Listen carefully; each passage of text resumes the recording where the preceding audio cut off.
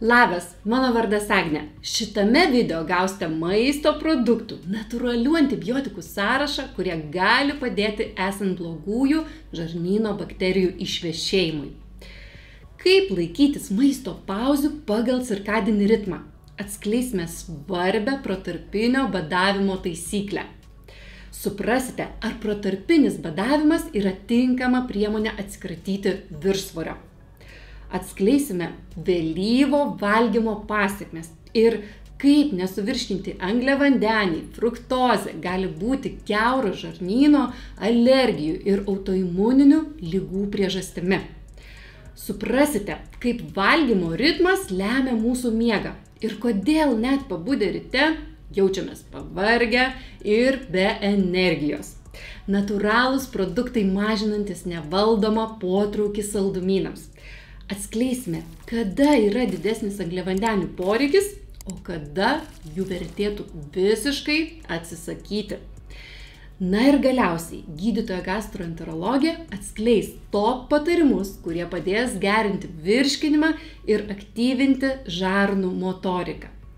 O jeigu ieškote būdų, kaip pagerinti savo mytybos įpročius, pasirūpinti savo žarnynu ir būti fiziškai aktyvesniais. Apačioje po šituo video palikau jums specialią nuorodą. Prisijungę prie skaidulų prenumeratorių bendruomenės, kas mėnesį gausite naują 30 dienų skaidulų kursą, o taip pat mytybos planus, online sporto programas, sveikatingumo bei psichologijos mokymo kursus.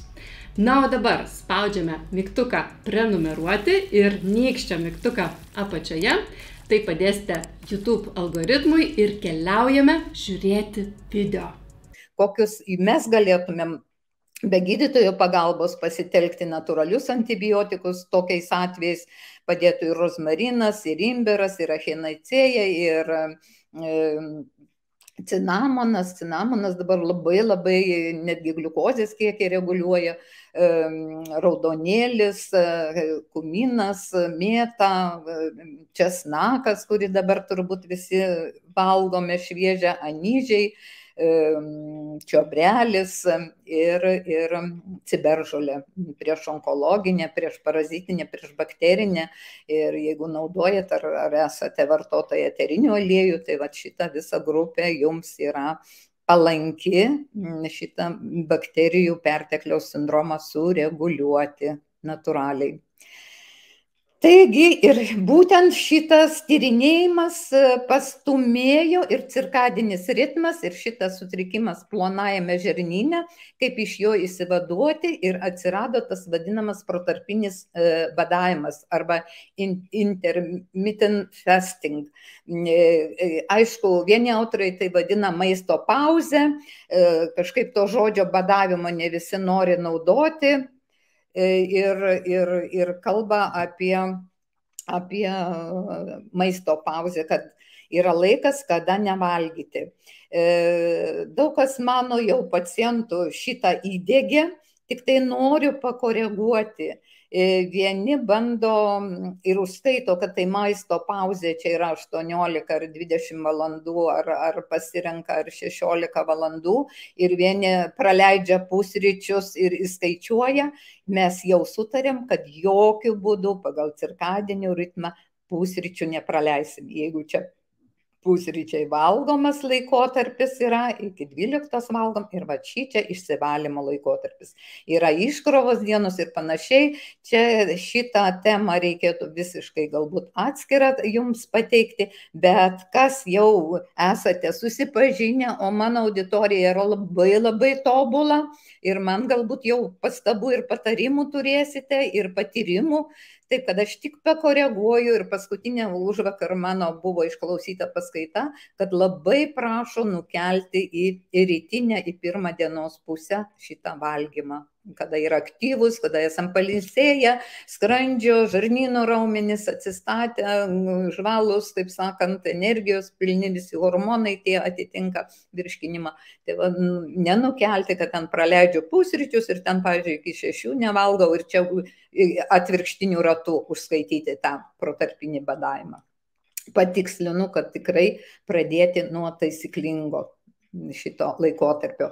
Čia vėlgi, ką, ką reiškia tas mytybos įtaka sveikatai šito, kad gerina tas protarpinis badavimas gerina ir centrinį, ir periferinį cirkadinio, tos laikrodžius, tos ritmus. Jeigu mes sutrikdome, tai jie iš karto keičia, keičiasi irgi. Taip, ir nutukimo atvejais jau buvo pritaikius tą protarpinį badavimą atlikti moksliniai tyrimai, kad sutrumpinus valgymo laiką, reiškia, E, tas nevalgymo laikas svoris krito, atsirado daugiau energijos, pagerėjo miego kokybė, apribojus valgymą ten nuo 8 iki 10 valandų per parą, ilginant badavimo laikotarpį ir naktį veiksminga, e, veiksmingesnė padarė išvadą, kad yra šita, šita rekomendacija veiksmingesnė organizmui negu ribojant kalorijų kiekį. Juk mums sakydavo, kalorijas reikia riboti arba didinti fizinį aktyvumą, kad sudeginti tas kalorijas. Matote, kiek atsiranda mūsų, mūsų teiginiuose pokyčių. Ir tas ribotas valgymo laikas, vadinamas svorio metimo metodas, yra alternatyva, kad mums ir tų kalorijų skaičiuoti, ką mums ir dietologai skaičiuodavo, ir mes buvom išmokinti skaičiuoti tas kalorijas. Taigi, rezultatai, jeigu netgi mes prisilaikysime, kaip aš sakiau, septintą vakarienę, septintą pusryčiai ir tie, kaip nuo kūdikystės pradėti penki valgymai, tai irgi, jeigu dar įjungsime tinkamas maisto grupės, o kokias maisto grupės įjungti čia vėlgi yra, tai kaip ir minėjau, čia galbūt ir nesustosiu, kad vėlyvo valgymo mano pacientai ateina, mes puikiai sutvarkę vakarienę ir refluksą ganėtinai sėkmingai susitvarkome, dar jeigu pasiūlome ten ir obolių acto pagerti prieš valgį ir, ir, ir panašiai, ir panašiai. Čia, čia mano aprašas yra ta, ką aš jau jums pasakojau. Ir ypač, ypatingai yra blogai, kai yra nesuvirškintas maistas ir ypač jeigu jis atsiduria būtent plonajam žarnyne, tai padidina tų blogųjų bakterijų kiekį ir ypač jau žinote, kad angliavandeniai, fruktozė užsilikusi per naktį plonajame žarnyne fermentu, fermentuojasi ir gali būti keuro žarnyno alergijos autoimuninių lygų priežastis. E, čia kaip ir celiakijos atveju gliutenas tą patį daro, tai mes jau esame aptarę keurą žarnyną, tai tik čia priminiau, priminimas kas buvo. Ir mm, keletą kartų čia sutrikdoma gilioji miego fazė, valgant vėlai vakare, e, reikalingos skrandžio sultis, kasos fermentai, o šitų sulčių jau mažai. Čia vėlgi tik pakartoju, už, už kaip sakant, užtvirtinu, kas vyksta e, kūno temperatūra.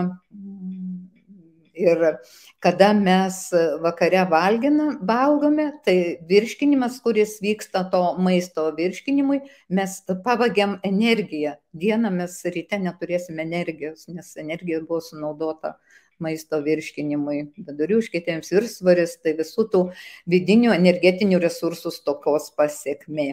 Taip. Čia vėlgi rekomendacijos, rekomenduoja e, sumažinti šitą angliavandenių kiekį, kaip kokios čia ir berberino, kokios augalai, su bismuto, oreganas, tas raudonėlis, kur jau minėjau, e, cinamonas, oreganas, e, čiobrelis E, patvirtina, va čia moksliniai tie, tie šaltiniai, kurie patvirtina kokią mytybą. Ir čia aišku, e, sumažintų angliavandenių naudojimas, dabar tą keto mytybą, turbūt irgi daug kas jau su ją susidūrėte, ištyrinėjote, galbūt ir pritaikėte. Ir e, kuo nusikaltė tie angliavandeniai mums, ypač vakarieniai E, labai rekomenduoju ir savo pacientams, ir jums atsisakyti angliavandenių bent vakarienį dieną, nu, kaip jūs ten toleruojat, kokiam lygmenį esat. Angliavandenių poreikis jau kuo daugiau reikalingas tik tai judrumo, aktyvumo, jeigu sportuojate, daug dirbate, sunkus fizinis darbas, E, tuo jis gaudamas tų angliavandenių sudegina, vakare sudeginimo šansų nėra. Angliavandeniai tikrai negeriausias pasirinkimas ir aš niekada nesiūlau vaisių, atsimenate, esu skaičius ir sakius, kad labai gerbiu Natalija Samoilenko, tai yra ukrainiečių dietologė, kuri labai propaguoja ir aktyvuoja valgyti angliavandenius tik iki 15 valandos, nu, tai sutampa su mūsų iki pirmojos dienos pusėje, o antroji dienos pusėje jau angliavandenių tikrai, tikrai netgi ir nėra geras pasirinkimas ir vaisiai, ir saldžios uogos, tikrai nerekomenduojama.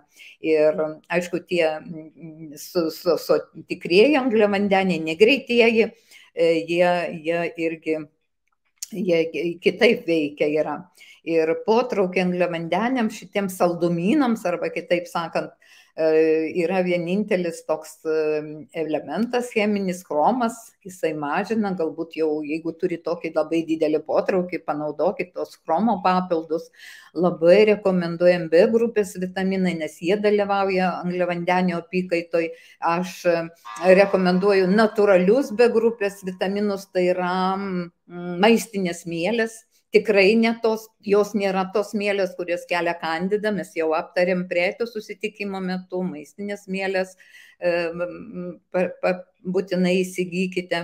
Ir tas labai išgirtas cinamonas, kuris reguliuoja, reguliuoja cukraus lygį ir kraujyje ir alkio jausmą. Ir des, taip vakarienė, aišku, atsisakykime deserto, pasilikime pirmai dienos pusiai, vaisiai taip pat nėra pats geriausias pasirinkimas, nes jisai sutrikdo virškinimo procesą, putime dalyvauja. Kodėl? Kadangi čia yra e, tos gliukozės, to cukraus, o jį labai mėgsta blogosios bakterijos. Čia vėlgi kokie rekomenduojami angliavandeniai, kruopos, tai grykiai, perlinės, patys žinote, bolivinė balanda ankštiniai, iš avinžirniųgi turbūt su aliejumi ir humusą pasidarote visai neblogai. Čia įterpiau spiruliną, kodėlgi ne, jinai, jinai turi irgi visų, visų amino rūkščių. Apie žalialapės daržovės mano lektorius, tai jisai nenuilstamai kalba, kad turime suvalgyti apie įvairių, įvairių tų labai ryškiai žalių spalvų, kur yra magnio daug, kur yra kalio, ypatingai akcentuoja kalį, kas turi insulino rezistentiškumą arba tą polinkį į cukralygį arba ją serga, tai, tai be, be kalė kopūstų, be briuselio kopūstų, be tų visų rūkolos, špinatų, kur ryškios žalios spalvos, jisai tikrai siūlo draugauti įvairių ir baltagūžių, ir ten raudonų, ir visokių rūšių, tai jis labai labai labai tuos kryžmažiedžius mus e, agituoja. Čiagi vėl parodytos e, natūralios tos mano paminėtos ir rudieji ryžiai tie su visa e, lasteliena, lobeliam, žievelėm, kur visi mikroelementai randasi, nešlifuoti ryžiai.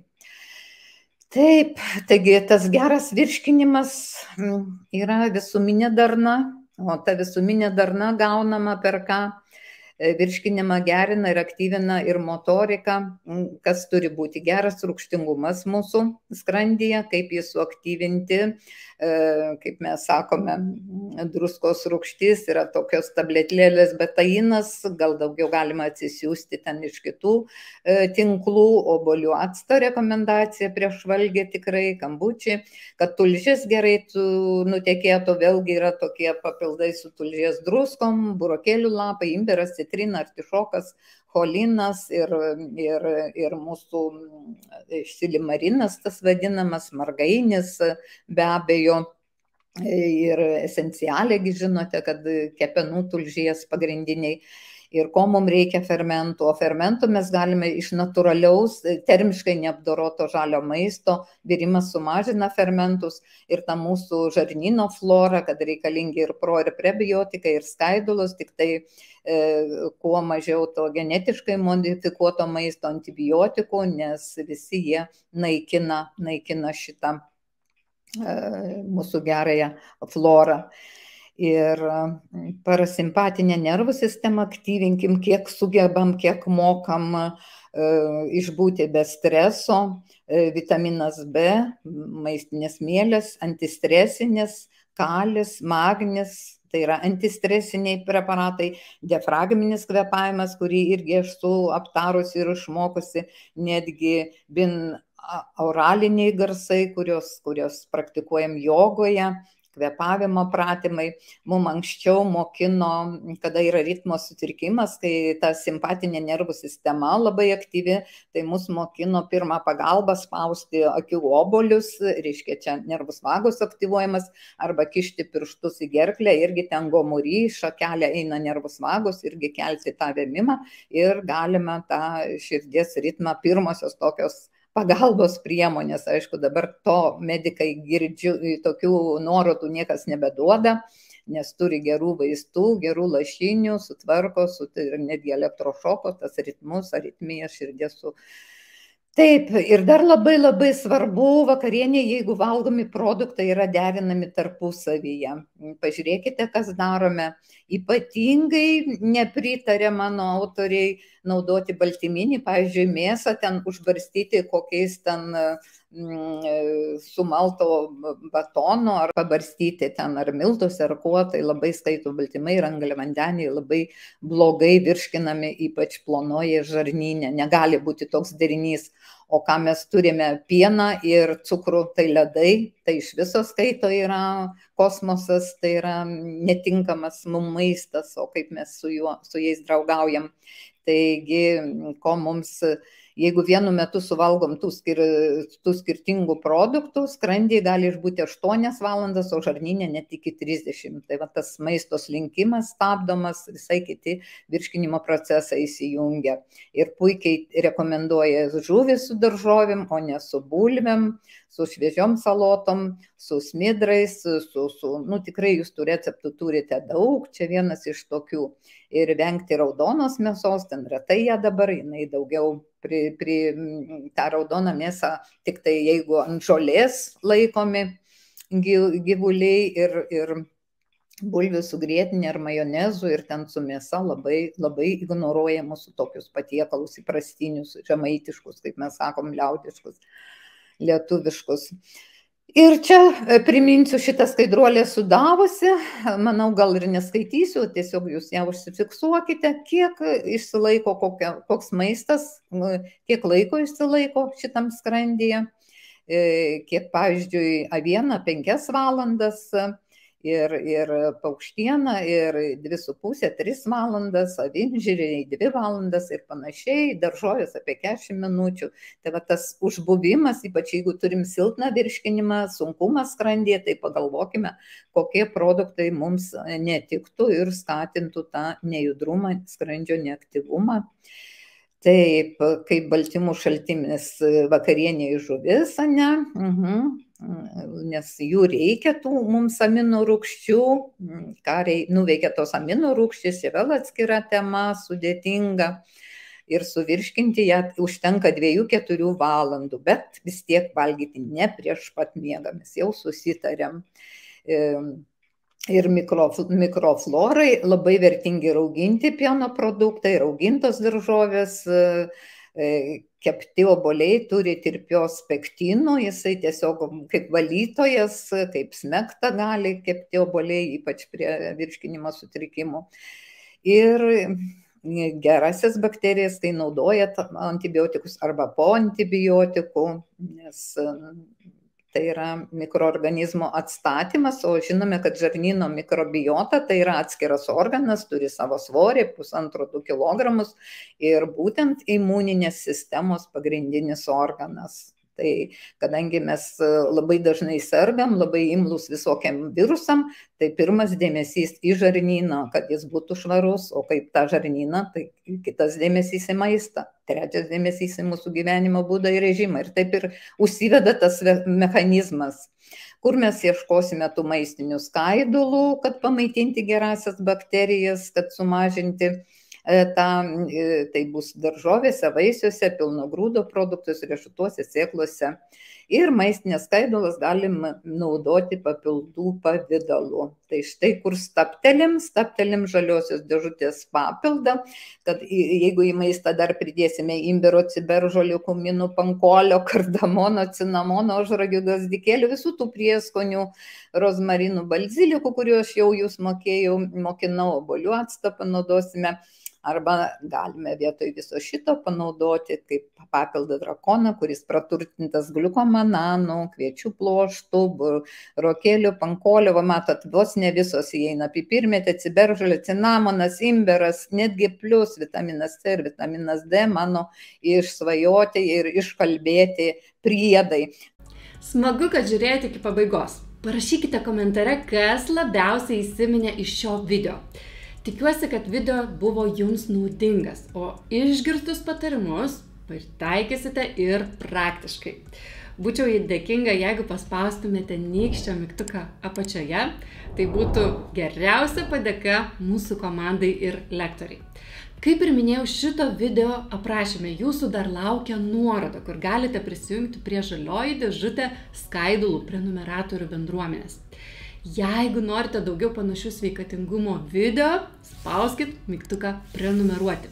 O jau dabar galite apsilankyti mano kanale, kur rasite jau paraštų dešimtį panašių video edukacijų įvairiomis temomis.